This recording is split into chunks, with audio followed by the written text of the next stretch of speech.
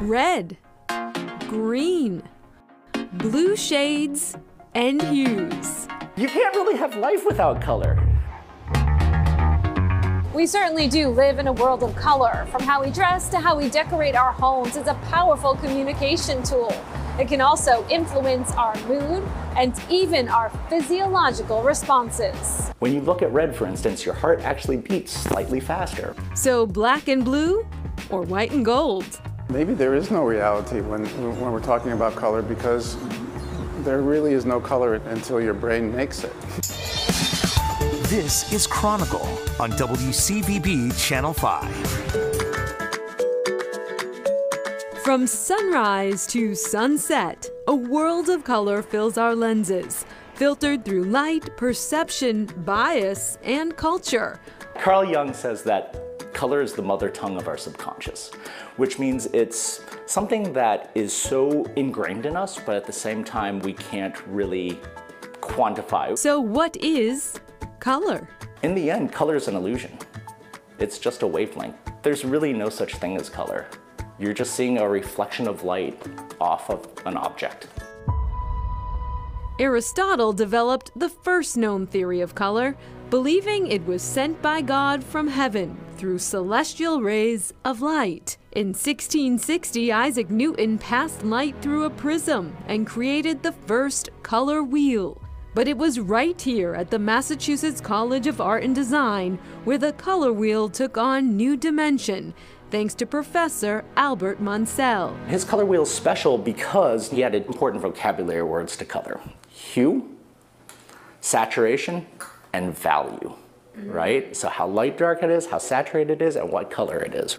Program Chair Jarrett Min Davis teaches first year students about the element of color that goes beyond sight. We talk about color as color symbolism and color psychology. For us, color symbolism is the thing we kind of know, right? Lo red means love, red means hate, red means blood, red means passion. Now, the harder one is color psychology. And all color psychology is sort of not to use the pun, colored by sort of our culture and our biases. And that is key when it comes to marketing. Red and yellow? They have that red and yellow because in the 70s it was decided that that heart racing part of red and that yellow made you hungry. But perhaps there's no faster way to quell that hunger than serving it up on a blue plate. Blue is actually one of the most unappetizing colors on the entire planet. And these are my actual plates. All these years, I thought it was my cooking. Looking for some calm, you might go green. Ever buy something not on the grocery list? You can potentially throw some shade at color for that. Between 60 and 80% of our choices of what we purchase in the store is determined by color. Who hasn't debated with a partner over the color of something? Paint, a rug, maybe a tie? So, who wins the argument when it comes to color? You may say green, right? Your partner may say blue. Maybe your tones in your eye don't work exactly the same way as your partner's, so it could very well be that you're both right. It's just all a matter of perception. We had this motivation in my group for a long time to make stuff like nature because nature does some really cool things when it comes to control of light and, and color. And few species give off more vibrance with a simple flutter than the butterfly. Structural color is how a lot of things in nature get color. And what's unique about it is that the color isn't produced by pigments or dyes. But instead, if you zoom in really, really, really far with a microscope, you see these kind of nanoscale structures. So they don't have color inherently, they're just almost transparent. And similar to how a soap bubble, for example, if you make something clear but really, really thin, will then start to give you color.